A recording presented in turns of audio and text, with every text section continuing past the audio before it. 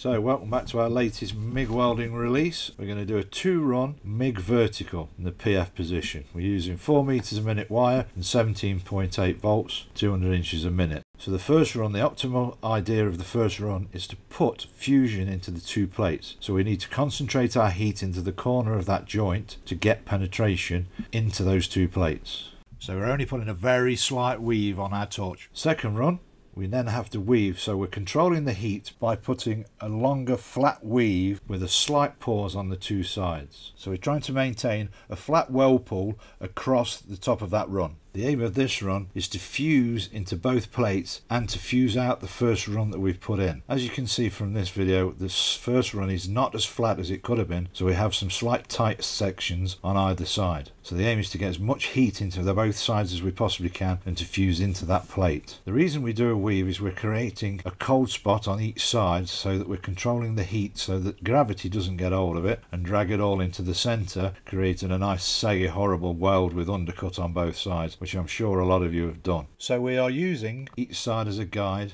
picking a point each side the same distance so that we're controlling and keeping our leg lengths exactly the same. Obviously leg lengths are the distance out on each plate so that we've got a nice 45 degree fillet. With some of the newer welding sets, if you increase the arc length, i.e. you pull the torch further away, then that will actually slightly drop the volts to create a little less heat. If you push it further in, then that'll give you your maximum heat. So you can get a little bit of control by changing the length of your arc. You can use this technique on virtually anything that you're MIG welding.